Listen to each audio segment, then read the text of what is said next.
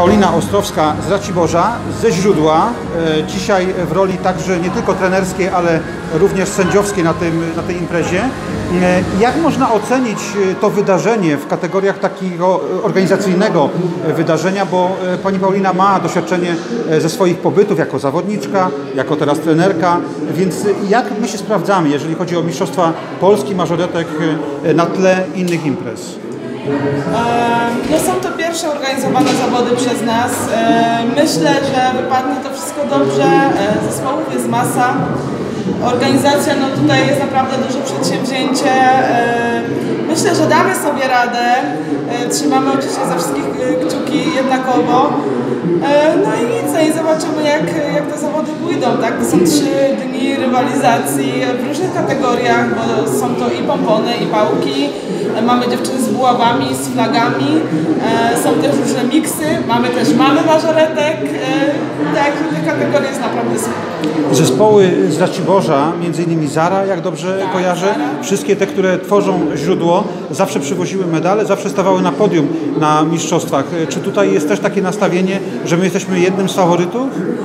E, Oczywiście nie nastawiamy się na medale, ale oczywiście liczymy na to. E, Trenowałyśmy ciężko, przez pandemię też e, mieliśmy rok przystoju, e, także na pewno ciężej będzie tutaj zawalczyć, ale myślę, że możemy trzymać kciuki za nasze dziewczyny.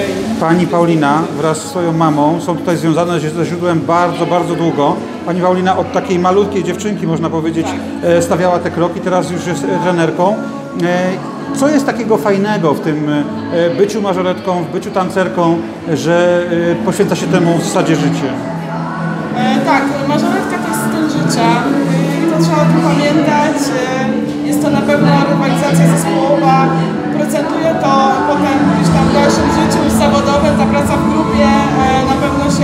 przydaje i ułatwia przede wszystkim, tak.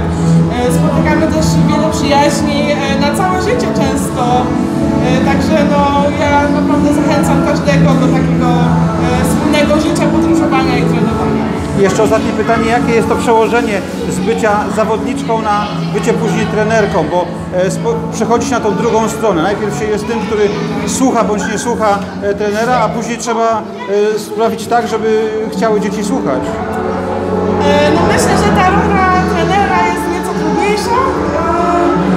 Z perspektywy mażoretki. Już teraz mamy mażoretki, bo moja córka również występuje. E, No jest to całkiem inna, mm, inna kategoria, tak? E, I na pewno ciężko jest ocenić też tancerki, z którymi e, się współpracuje na co dzień. Gdzieś tam potem musimy je też tutaj oceniać, także na pewno trzeba być obiektywnym. No jest to, jest to kawał ciężkiej pracy. Bardzo dziękuję, to tyle.